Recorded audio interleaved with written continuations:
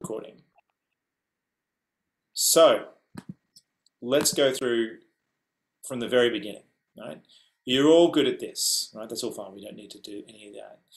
When you're down, down, when you're down and you're troubled, you're all good at that. And you need a helping hand, you're all good at that. Nothing, oh, nothing is going right.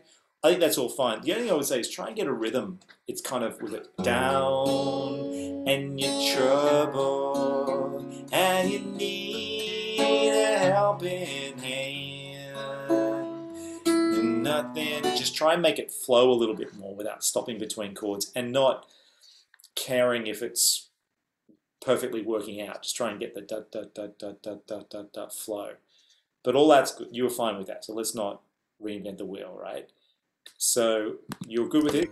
Close your eyes and think of me.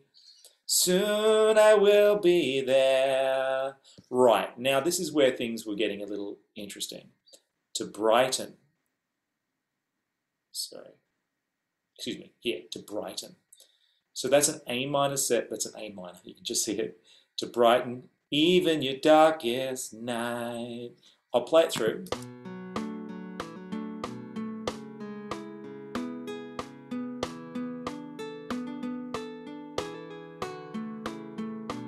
Now that's a real pretty way of doing it. You could also do it this way.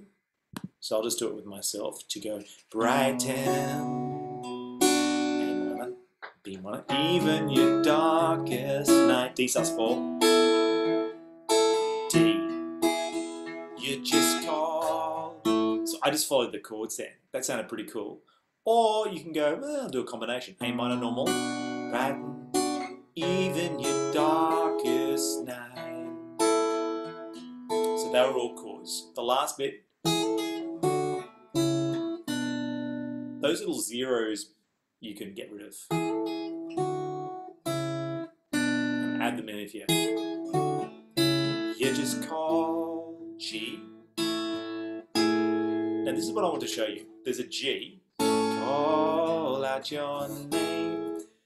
This the way the G is kind of done in this chorus, if you do it with a G rather than that G, rather than, so in a D string, call out your, then this dude can jump up here, name, it's a really, G, then to G major 7, name, C, major 7, which is just a C without its top. Oh, na, na, na. So that was an A minor 7, and it was just the same thing, A minor 7, then my little finger, on, off. So call, you just call out, well, this is what call out your name. Soon, na, na, na, na, na. I just call G, G major 7 to see you again. Right, now with the G's and the G major 7s, you can do it with these three fingers, or you can do it, do it with. Uh, sorry, so you could do, what I'm trying to say is on the A, a G chord has this dude on the A string, which you can just bugger off, right? You can just do it like because it doesn't matter, you don't actually hit that note. COVID. Um, so, da, da, da, da, I just call to see you again. Um, now, there's a bit, I'm, I'm just going to play it through. A second.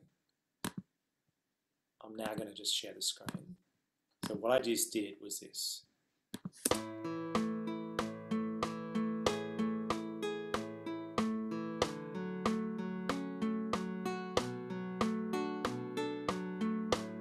do. G major 7 again.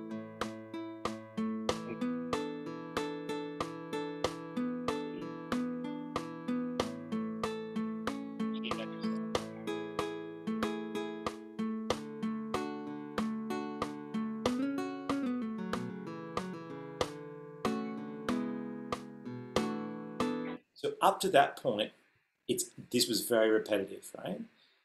This bit where I wrote easy A minor, you could just do A minor 7 instead at that point. So you could go.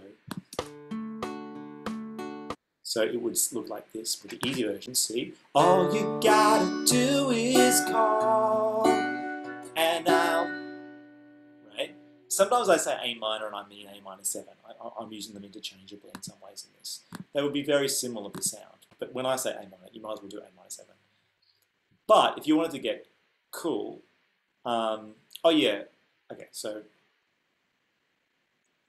let's, let's, let, I'm just to play the, the tricky bit. It's not as tricky as you look. It is tricky, I won't lie.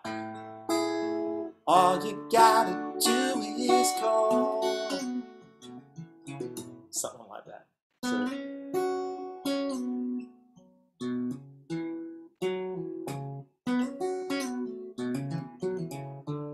it is hard. Let's let's be honest.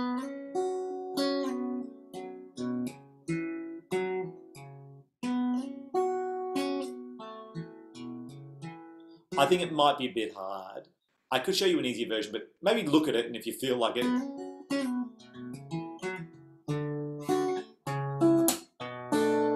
You got a friend. Back to the beginning, yeah. Bugger off that bit. Um,